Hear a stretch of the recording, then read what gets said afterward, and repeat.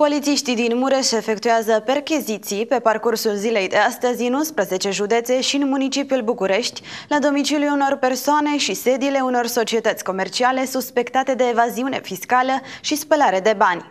Prejudiciul cauzat se apropie de 1.850.000 de lei.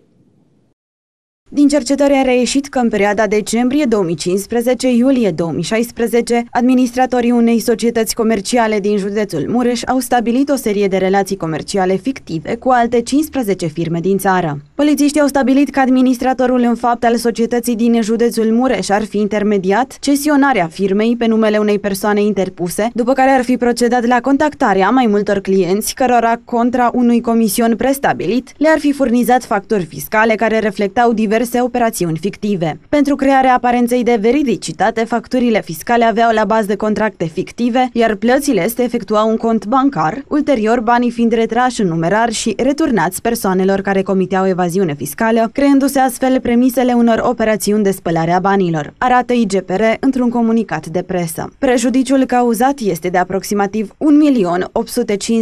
de lei și peste 1 milion de euro, reprezentând impozit pe profit și taxă pe valoare adăugată.